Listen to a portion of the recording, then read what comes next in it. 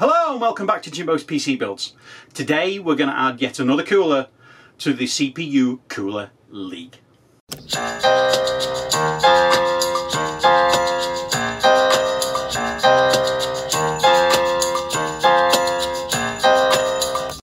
So without further ado, let's have a look at the cooler that we're going to add to the league today. Apologies for the state of the box, this is how it came from Amazon, but it's the Alseye M120D. Now I think I'm saying Alseye right, and apologise to the company if I'm not, but this is the cooler we're going to be adding. As always, I'll go through the installation, I will give you my thoughts on the installation. Then I will give you the scores that it managed to attain and where it finished in the league table. Then I will finally give you my final thoughts and conclusion on the, on the cooler. So without further ado, let's have a look at the installation.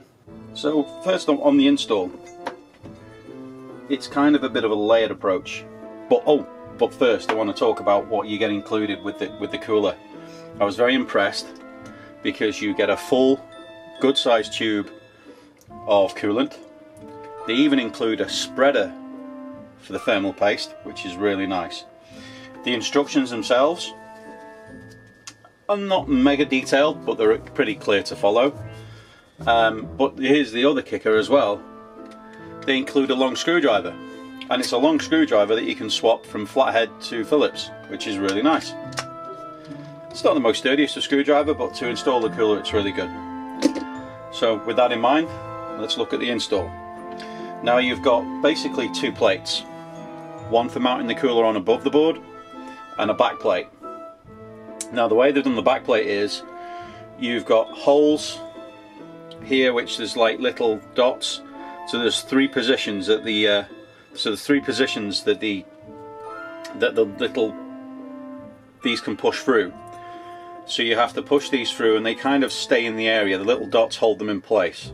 For the socket I've got, which is the uh, 11 whatever, it goes in the middle one. So you have to turn, so there's like a little gap. So I'll show you without. There's a tiny little gap there and what happens is this goes through the top, then the little rubber grommet goes through and then it lines up and the little plastic piece pushes through the gap to hold it in place. So what you have to do is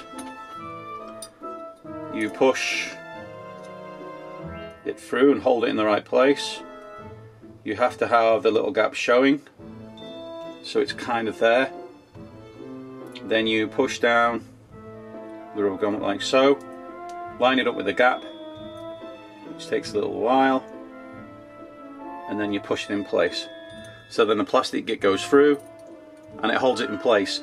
I actually quite like this because on some of these ones where you have to push the, the from the, or below the motherboard there's no way of holding it in place. So you have to do like a bit of a bit of an act where you're trying to balance things and put it through the back. But this you hold it firmly in place then you shove it through. So that's pretty decent so once you put the first one in, all you do is just repeat. So you do the next three. So now I've got now I've got all four on. I've got to put it through the back of the motherboard and then I've got to screw in four of these. Now you'll notice they've got a hex on them so I'll be able to like tighten them up but I'm just going to basically at the moment put this up through the back of the motherboard and attach one to hold it in place.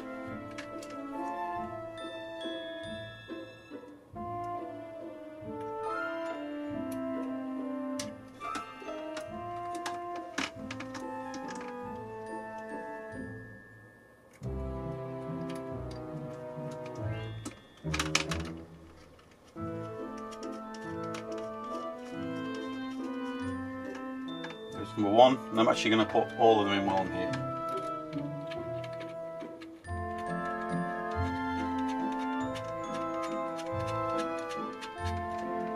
There's number two.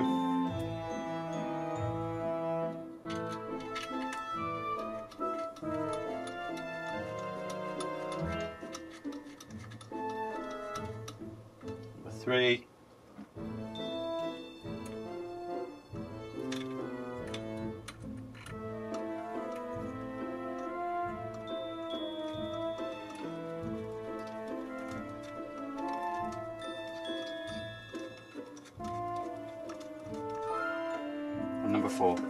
So there we go, now I've got all those four in, I'm going to tighten them up and re-screw my motherboard. So now I've got these in and tightened and my motherboard's fully attached, I'm going to uh, add these washers that come with as well. I'm going to put them on. You go on each one.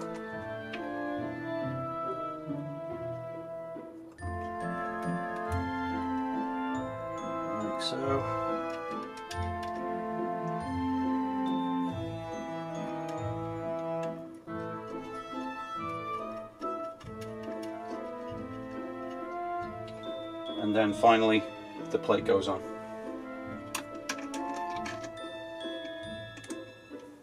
Like so.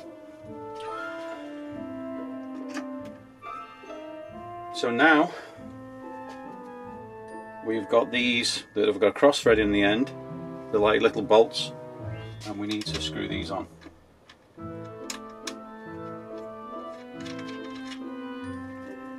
I'll just put them on as far as they'll go and then I'll with hand and then I'll use the screwdriver to tighten them up.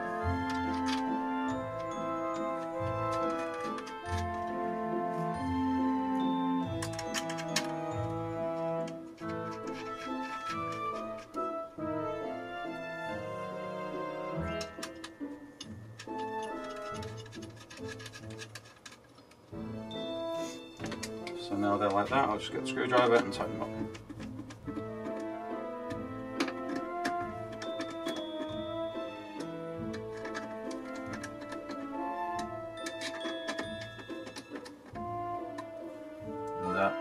Fully in place. So the next part is putting the cooler on. Now to put the cooler on, there are screws already installed here.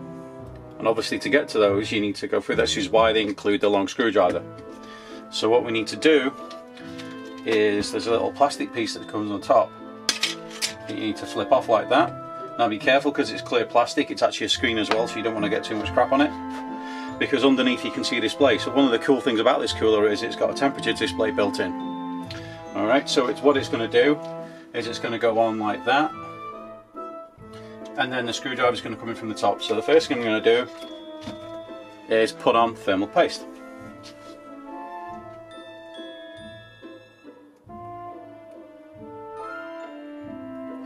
Now, I could use the spreader, but on all of the other CPU installs I've done, I've used the pea method, so I'm going to be consistent to make sure that we're getting the same result because I don't want to give this an advantage by having a spreader built in. Even though it comes with it, and you could argue that, I would much rather um, keep this consistent so we've got a consistent te testing methodology and using the same parameters for all.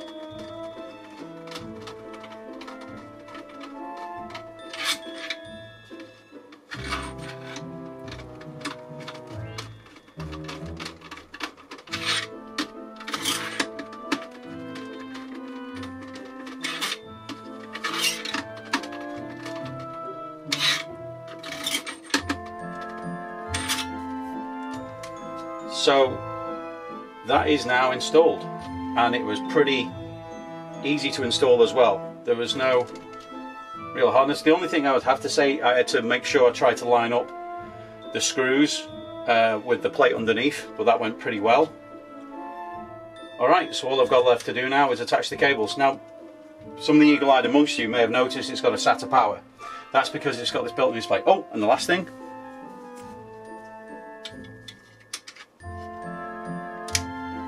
clip the display back on to make it look, look much more neat.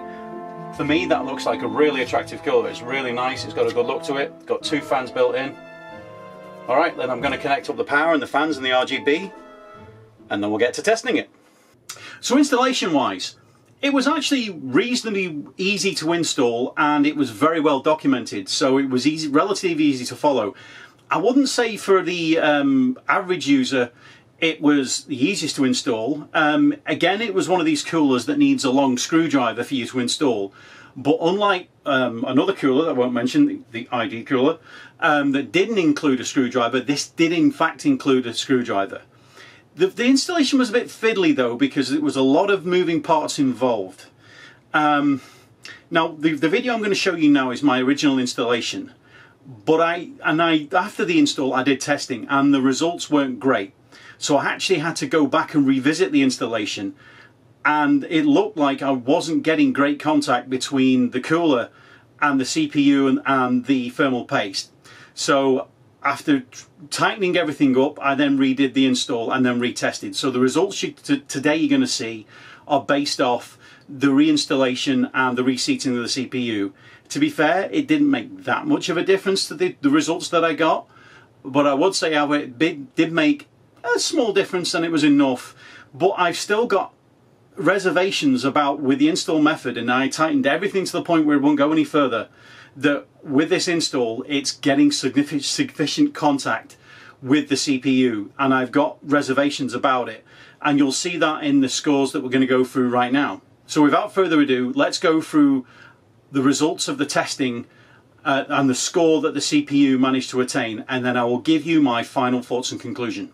So we'll start off with base temps. The base temp um, for the Alseye M120D was actually pretty reasonable. It was it, started, it sort of hovered around 29 Celsius, which is actually pretty good. There is a trade-off for that, and we'll see that reason for that now. The reason for the trade-off is the base sound, because while it was hovering at 29 Celsius, the decibels were hovering around 37 decibels, which is actually pretty high, and it's the second worst performance of a cooler on the scoring so far. Cinebench score, it actually got a pretty good average Cinebench score of all, over 4,800 points. I think the average was about 4,840-ish points. So it actually did very well and beat coolers like the Scythe Fuma and Vetroo, etc., etc. Um, but that's no real reflection on on the uh, actual cooler itself and here's the reason why. The max temp was 79 degrees. Now, one of the things I'm going to mention, I've mentioned previously as part of the install, um, was I had to redo the testing. Um, the original um, uh, average max temp I got was 81 degrees Celsius and it went down to 79. This was after reseating the CPU cooler. Um, so this is a better result, but still not great for a, a, cooler of the price point, and we'll get to that in a second. The average sound, there's two fans on it, and once it started really ramp, getting towards the point where it's starting getting towards the uh, 79, 80 degree point, the fans really ramped up and it became very loud. It, it, it was the third worst performer in terms of sound. So while the score was pretty good for this cooler, ah, I would not use this cooler based on the performance of the fans and the temperatures on any sort of really powerful CPU. The scoring ranges are staying the same. I've not made any adjustments for this cooler. The cooler league table. Oh boy. The uh, cooler did not do very well. It got a total of 22 points. There's, there's a couple of things that really stick out um, in terms of the things that really let it down. The base sound is one of them, which it didn't do very well at all. And then the average max temp and the average max sound. That really let it down. And considering they're probably the most important things when it comes to a cooler because at the end of the day, you want it to keep the CPU cool while not being stupidly loud to the point where you can't hear yourself think. And unfortunately, this cooler didn't do that. While it managed to attain a decent score, the temps and the sound were not good. And add to that the $79 price tag, ah, that's not a good uh, combination. But I'll go through that in my final thoughts and conclusion. So my final thoughts and conclusion. It's a really attractive cooler. It looks really, really nice. It's got a nice temperature gauge across the top, but the temperature gauge for me is a little bit deceptive because it tells you the liquid temperature. It does not tell you the CPU temperature, so please be aware of that. Otherwise, it looks really good. The RGB fans look really, really nice, but I have to say that's where the good stuff ends. The performance of the cooler for the price that you pay at $79 ah, wow, the temperature was too high, the noise coming off the fans was too high. I'm not convinced with the install that there was sufficient contact with the CPU. For me, it might perform better with a different CPU, but the CPU I've got it on, which is the 10700K, it really did not do the job very, very well at all. So I have to say, for me, it's a hard pass, and its place in the league, I think, reflects that. It performs well on certain points, but generally as a cooler, I wouldn't go there. There are far better coolers for a far cheaper price that look just as attractive, if not better. Alright, I hope that information was useful. Please don't forget to subscribe. I'm getting very close to the 1,000 subscribers now, which would be a great mark to hit. If you like this video and you found the information useful, please toss a like on the video. If you've got any questions about this cooler compared to any other coolers that I've got in the league, please leave a comment down below. If you've got any suggestions on how you'd want to maybe change the testing or see something added, please let me know also. If you've got any constructive feedback otherwise apart from that, also leave a comment down below. I try to respond to comments as often as I can. Alright, so that's all the YouTube stuff out of the way. Um, I hope you're having a great day and I'll see you soon. Take care.